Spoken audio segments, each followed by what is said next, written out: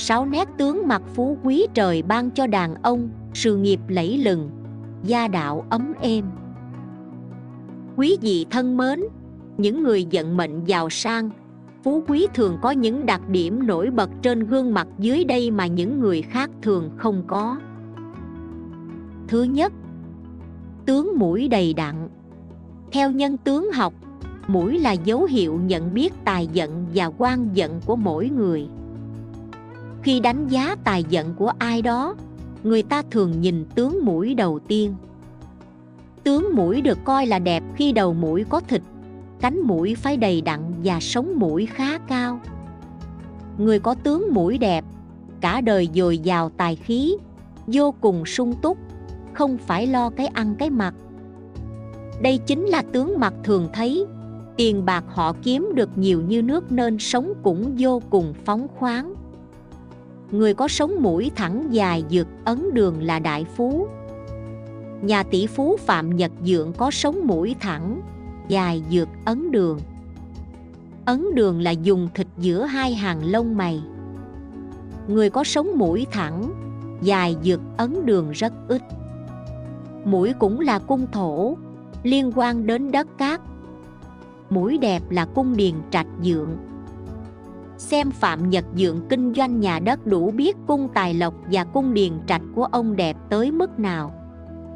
Nhưng xem mũi thấy đẹp còn phải xem đường thái dương và các gò trong lòng bàn tay. Nếu thấy mũi đẹp mà đường thái dương ngắn, hai gò dưới ngón út và ngón áp út không đầy, không sáng thì cũng không phải là người có cung tài lộc đẹp. Cái mũi đẹp trong trường hợp này có thể nhờ dao kéo tạo nên ngược lại. Nếu lỗ mũi bên to bên nhỏ hoặc cánh mũi hai bên to nhỏ bất nhất là dấu hiệu cho thấy bạn không có duyên trong những khoản kiếm thêm. Chính tài khá nhưng phụ tài kém, ít gặp may mắn về chuyện tiền bạc. Thứ hai, tướng hai cầm. Cầm được đánh giá tổng quan chung là đẹp khi tròn trịa, đầy đặn, vuông dứt, nhô ra hướng lên mũi đại diện cho chủ nhân là người có của cải. Phúc thọ, về già thường sẽ viên mãn sung túc. Ngược lại cầm gãy, cầm lệch, cầm bị lõm khuyết hoặc bất cứ điểm nào, khiến cho cầm không đạt được các điểm đẹp ở trên được coi là cầm xấu. Báo hiệu vận mệnh chủ nhân không được tốt đẹp. Nhận định chung về người có gương mặt hai cầm, hay cầm hai ngấn thường là những người có tính tình hiền hòa làm việc ít so đo tính toán thiệt hơn. Không thù lâu nhớ dai. Là người bao dung, rộng lượng. Họ là những người cởi mở, phóng khoáng, biết cảm thông, tha thứ. Những người này thường có giận kiếm tiền ngoài luồng, đại ý rằng họ dễ thành công thu lợi khi đầu tư vào kinh doanh. Nhờ vậy, khi về già, họ sẽ được phú quý, an nhàn đánh giá chung hầu hết các tài liệu ghi chép và bản thân người viết đều cho rằng đây là tướng cầm tốt. Thứ ba, tướng thiên thương sáng. Trên khuôn mặt, thiên thương nằm ở vị trí đuôi lông mày và đuôi mắt. Tướng thiên thương tốt là phải dày mà bằng, khí sắc hồng hào, không khuyết hãm. Thiên thương đầy đặn là dấu hiệu cho thấy người này có tâm sinh lý hoàn thiện xử lý công việc một cách thận trọng. Ngoài ra, họ biết cách quản lý tài chính, chi tiêu theo kế hoạch rõ ràng nên điều kiện kinh tế bao giờ cũng từ khá trở lên. Thứ tư, tướng eo hơi hóp về sau. Tướng mạo về eo lưng cho rằng eo lưng của con người như núi của bụng là vật để dựa, chỉ việc yên tĩnh và nguy hại phía trước của eo lưng là bụng liên quan mật thiết với nhau. Sách thần tướng toàn biên nói rằng, eo lưng là thành quách của bụng. Mọi sự an nguy của bụng đều dựa vào eo lưng cả.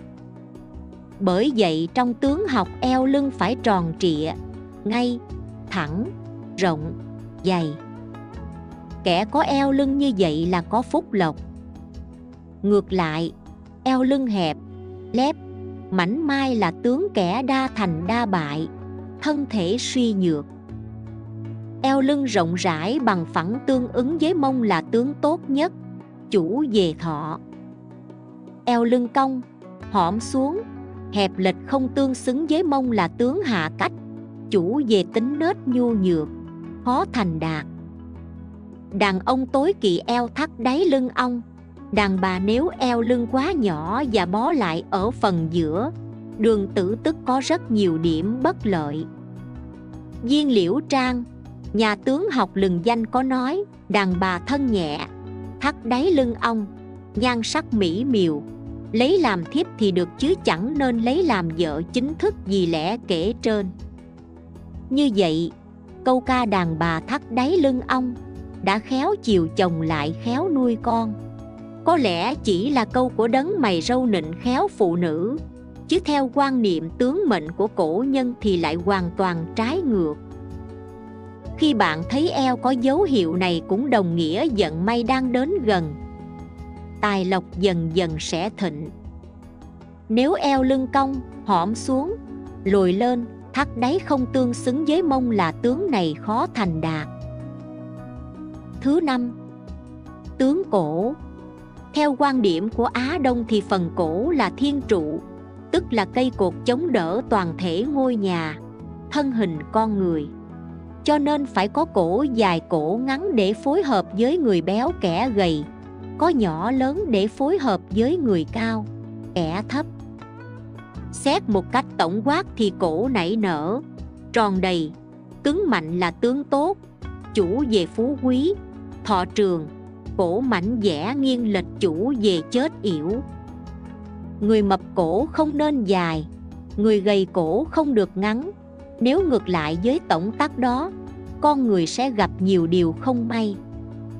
Sách có câu, người gầy cổ ngắn gặp tai ương, người mập cổ gầy tất yểu dông. Tuy nhiên, sự dài ngắn cũng phải trong giới hạn nào đó. Nếu cổ dài như cổ cò ngắn như cổ lợn thì lại bất hợp cách. Một điểm cần lưu ý là dù cổ lớn hay nhỏ, dài hay ngắn đều không nên lộ hầu vì lộ hầu chủ về gian truân, trì trệ. Riêng cổ của phụ nữ thì phải cao và tròn, cổ kiêu ba ngấn, phải cân xứng với thân thể. Đàn bà đại kỵ cổ thấp ngắn và lòi xương, vì cổ nhân cho rằng đó là tướng hình phu khắc tử cô độc quá bụa người cổ có gân nổi ra là tính khí thô bạo. Xương cổ lồi lên là tính nóng nảy cộc cằn. Người gầy gân nổi bao quanh cổ là bần cùng. Người béo mà gân nổi bao quanh cổ lộ xương thì chết bất đắc kỳ tử ở quê xa xứ lạ. Cổ tròn da trắng xương cổ không lộ ra là người giàu sang. Cổ tròn dạ dày như cổ gà có nhiều lằn tròn là người thông minh, tài trí. Dai và lưng đều khuôn phò sau cổ như nâng đỡ là tướng phát quan cổ có nhiều lằn quấn dòng theo là nghèo nhưng rất thanh cao và sống lâu. Nếu có nhiều mụn cóc nốt ruồi là hèn hạ, đói rách. Về thế cổ, thì nếu cổ như hướng về phía trước, nhưng không được quá lộ liễu, chủ về tính nết hòa ái phong nhã còn nếu như hướng về sau chủ về tính nhu nhược, hay gặp sóng gió bất ngờ. Cổ tròn dài như cổ hạt dễ phát nhưng chung cuộc không được an lành.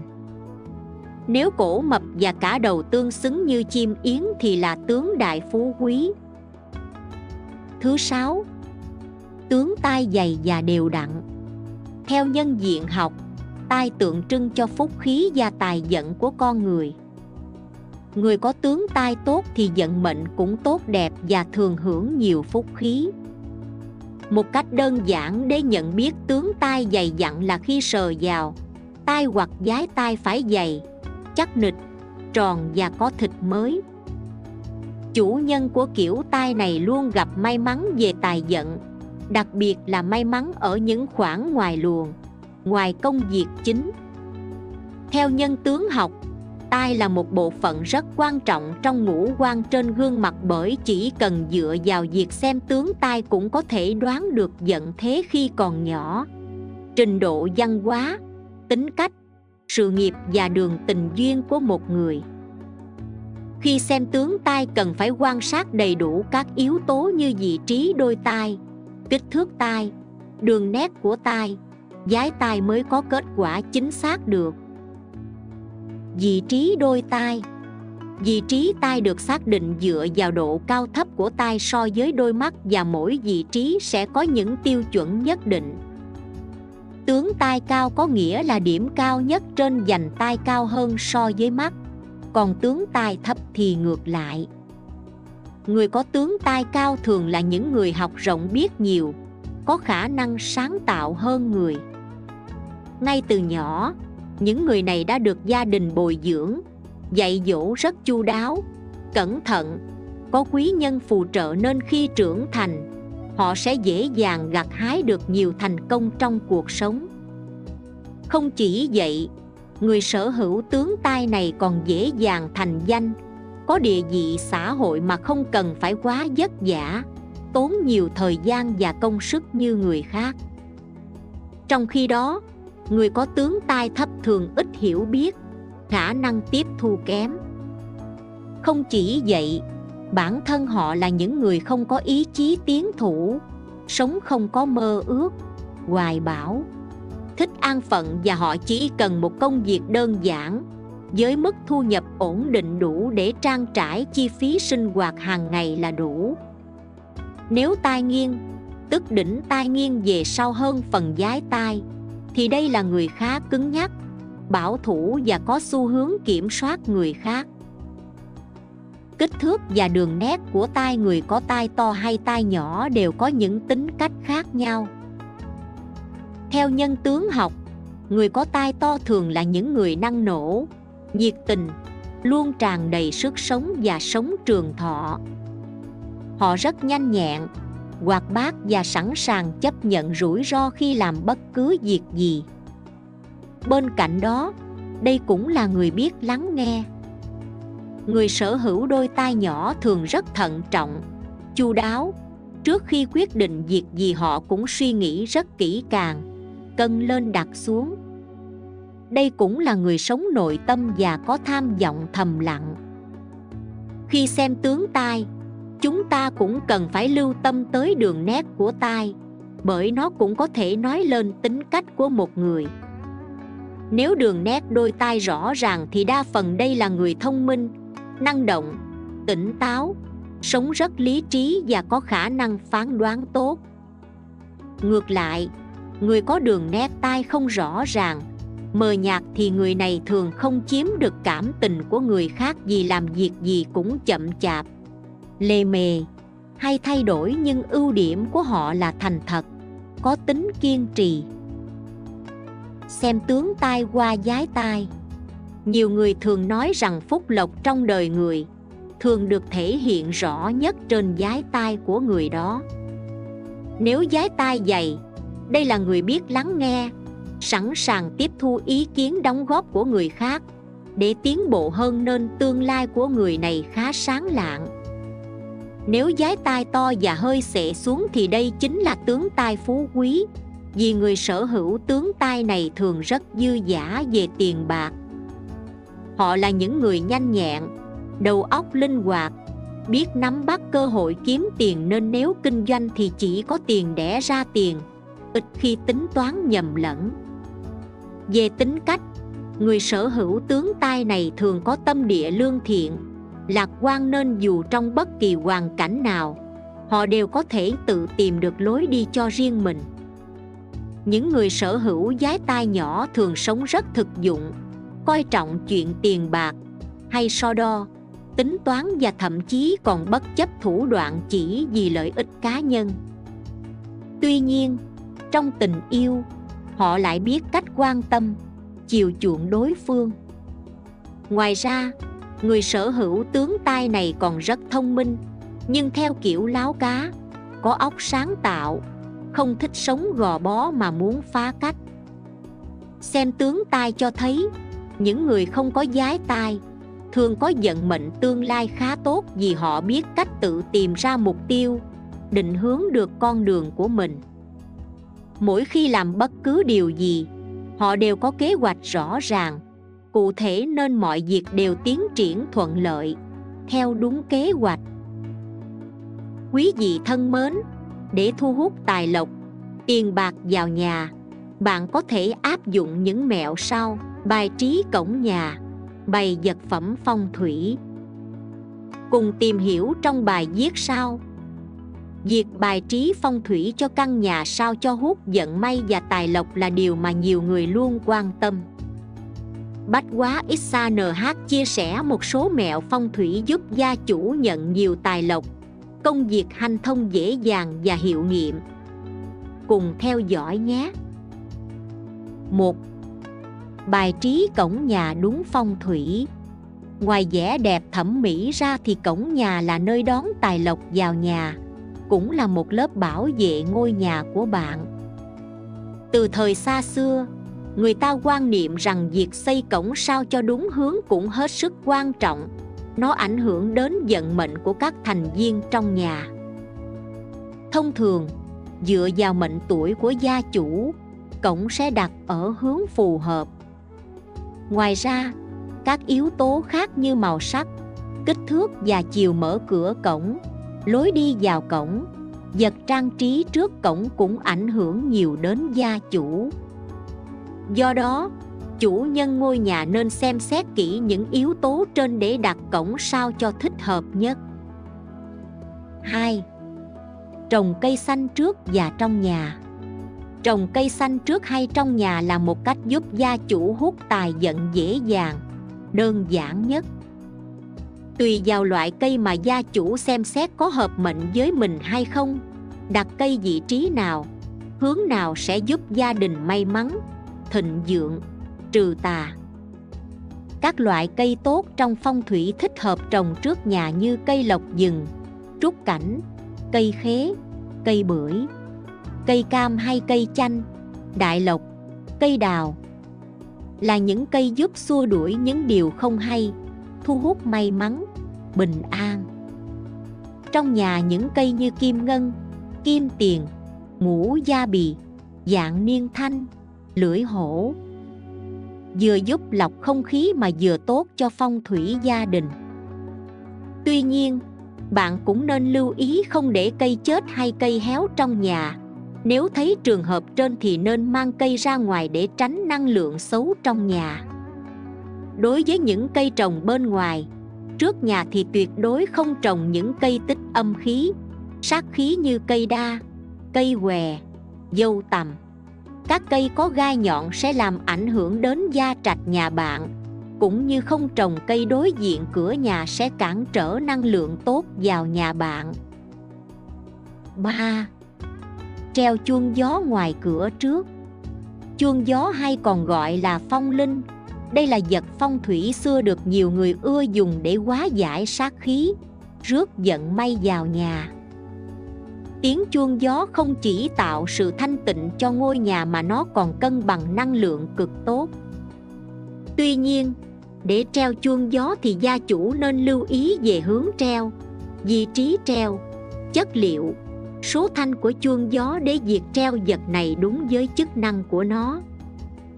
Thông thường, người ta sẽ kỵ treo chuông gió đường nối từ hướng tây nam đến đông bắc. Đây là đường quỷ treo chuông gió dễ thu hút người âm, giận rủi. Tránh treo trong phòng ngủ, nhà bếp, nhà vệ sinh. Nơi tăm tối vì đây là nơi tối kỵ trong phong thủy. Nó sẽ làm bạn lao đao, gặp nhiều trắc trở. Nếu trước cửa nhà đối diện là đường lộ, mà muốn treo ngay cửa chính thì lệch bên góc để giảm sát khí. 4 thường xuyên dọn dẹp vệ sinh nhà cửa. Việc lau dọn, vệ sinh nhà cửa sạch sẽ ngăn nắp. Ngoài giúp ngôi nhà trở nên thoáng đãng ra thì nó còn giúp hút những năng lượng tốt vào nhà bạn. Đặc biệt, cửa chính là nơi năng lượng chảy vào. Do đó bạn nên lau dọn, loại bỏ những thứ không sạch sẽ. Đồng thời, trong nhà bạn cũng nên kiểm tra đèn điện ống nước xem chúng có hoạt động tốt hay không. Việc ống nước rò rỉ hay đèn hư hỏng cũng ảnh hưởng ít nhiều đến dòng năng lượng trong nhà. Ngoài ra, khi dọn dẹp thì bạn đừng quên lau chùi bảng tên. Số nhà bởi những chi tiết này lại mời gọi thần tài gõ cửa nhà bạn. Chúng phải được vị trí cao ráo, dễ thấy, nổi bật mới có thể rước tài giận cho gia chủ. 5. Bài trí đồ đạc trong các phòng trong nhà. Các đồ đạc trong nhà của bạn cũng phải được đặt ở những vị trí hướng sao cho hợp với phong thủy, mệnh cách. Điều này khá quan trọng bởi bố cục đồ đạc cũng ảnh hưởng ít nhiều đến năng lượng trong nhà. Mỗi phòng trong nhà sẽ có các bố cục phong thủy khác nhau. Trước nhất, phòng khách phải có màu sắc, cây cảnh, vị trí đặt các đồ nội thất theo hướng phù hợp với mệnh cách của chủ nhà. Kế đến, phòng bếp sẽ không hướng ngay nhà vệ sinh, không đặt tủ lạnh đối diện nhà bếp là những điều kiên kỵ trong bố trí đồ đạc trong gian bếp. Cuối cùng, phòng ngủ của bạn thì giường không được đặt đối diện với cửa, không treo gương đầu hay song song với giường, cũng như các loại cây cảnh gam màu tường phải phù hợp với mệnh tuổi gia chủ. 6. Đặt bàn thờ ở vị trí hợp phong thủy. Trong việc bố trí các vật trong nhà Đặc biệt là nhà có thờ cúng ông bà, tổ tiên, tôn giáo thì việc đặt bàn thờ vị trí nào trong nhà cũng hết sức quan trọng. Nó liên quan trực tiếp đến gia đạo, của cải, công ăn việc làm của gia chủ ảnh hưởng luôn cả vận mệnh con cháu. Bàn thờ có thờ cúng tổ tiên, ông bà tuyệt không đặt xung giới cửa hoặc hướng ra đường cái. Bài dị sẽ không được phép dựa sát tường hay để ngang hàng với thần phật mà để phía dưới, hai bên. Không đặt bàn thờ trong phòng ngủ, ngay nhà vệ sinh, nhà bếp. Ngược hướng ngôi nhà không đặt đồ điện trên bàn thờ đây là điều kiên kỵ trong phong thủy 7. Bày các vật phẩm phong thủy trong nhà Gia chủ cũng có thể dùng các vật phẩm phong thủy để làm trung gian thu hút tài khí, may mắn cho gia đình. Nó không chỉ giúp gia chủ công việc hanh thông, gia đạo yên ổn mà còn quá giải giận xuôi, tại nan. Tuy nhiên khi chọn đồ phong thủy cho ngôi nhà thì bạn cũng nên xem nó có phù hợp với mệnh cách cho mình hay không cũng như các hướng, công dụng của từng loại vật phẩm. Một số vật phong thủy dùng để chiêu tài lộc được nhiều chọn gồm cốc ba chân thiềm thừ, mèo phong thủy, tranh phong thủy, thỏi vàng phong thủy, muối phong thủy, tỳ hưu, lông đuôi khổng tước. Ngoài ra, gia chủ cần lưu ý một số điều khi đặt đồ phong thủy ở vị trí chiêu tài trong nhà. Không đặt vật phong thủy ngay cửa sổ mà đặt sát tường, vì cửa sổ là nơi thông ra ngoài. Đặt ngay nơi này, tài lộc đều bị thất thoát. Không đặt gần nơi có thiết bị điện nên đặt ở phòng khách, phòng làm việc, bàn làm việc. Tuyệt đối không để tại nơi tối tăm như nhà kho, góc tường chân cầu thang. Nên lau chùi giữ vệ sinh nhà cửa sạch sẽ cũng góp phần kích hoạt khả năng của vật phẩm phong thủy. 8. Sửa chữa, dứt bỏ các đồ đạc hỏng trong nhà. Theo các chuyên gia phong thủy học, các vật dụng trong nhà nếu bị hư nên sửa chữa nếu không thể sửa thì tốt nhất dứt bỏ đặc biệt là các thiết bị điện tử trong nhà bởi vì những vật này chứa nguồn năng lượng dồi dào, chứa đựng sức mạnh lớn lao. Nếu chúng bị hư thì nên sửa chữa ngay vì nó sẽ làm ảnh hưởng không ít thì nhiều về công việc làm ăn của gia chủ. Các vật bị hỏng không thể sửa được nữa như chén dĩa bể hay gương tốt nhất là nên dứt và thay mới. Vì chén bát, đĩa tượng trưng cho của cải, cái ăn cái mặc, còn gương là vật phản chiếu hút năng lượng xấu. Dù những vật này chỉ mẻ một chút cũng ảnh hưởng không nhỏ đến bạn.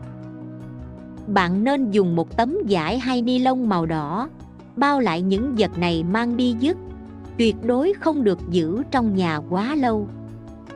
Bên trên là một số mẹo hút tài giận. Tài lộc vào nhà bằng nhiều cách đơn giản. Mong qua bài viết trên các bạn biết thêm nhiều thông tin bổ ích và thú vị.